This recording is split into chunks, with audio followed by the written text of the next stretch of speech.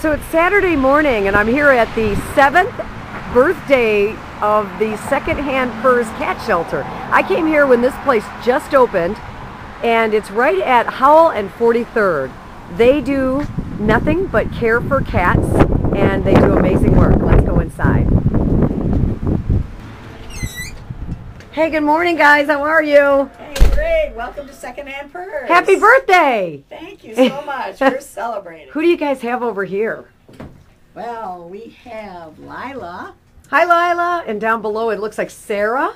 There's Sarah and Bailey's down there too. Hey, Bailey, gonna make you a star and put you on the internet.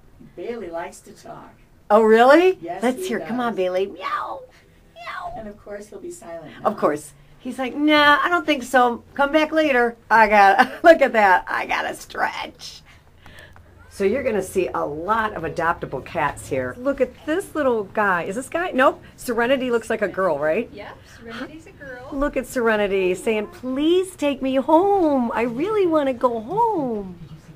So over on this side is the gift shop. Yes. Yeah, look at this. So we got t-shirts over here, right? Yes. And then I see, oh, lots of fun stuff for kitties. If you have a cat and you have uh, me bowls or looks like, what else you guys got back here? Toys, frames. Oh my gosh, if you know someone who has a cat, a lot of gift ideas here.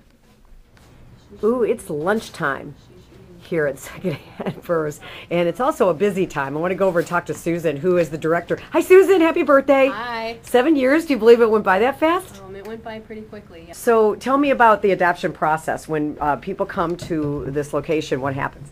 Um, they need to come in and spend a good half hour to an hour trying to pick out or select an animal.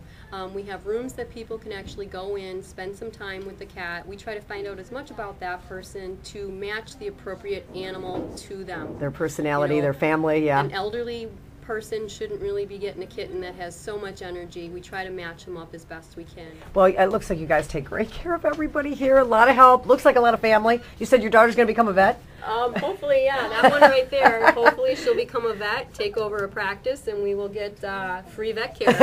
That's a good thing. My husband promised me not to leave with a cat. I better be careful. There's a lot of really sweet ones here.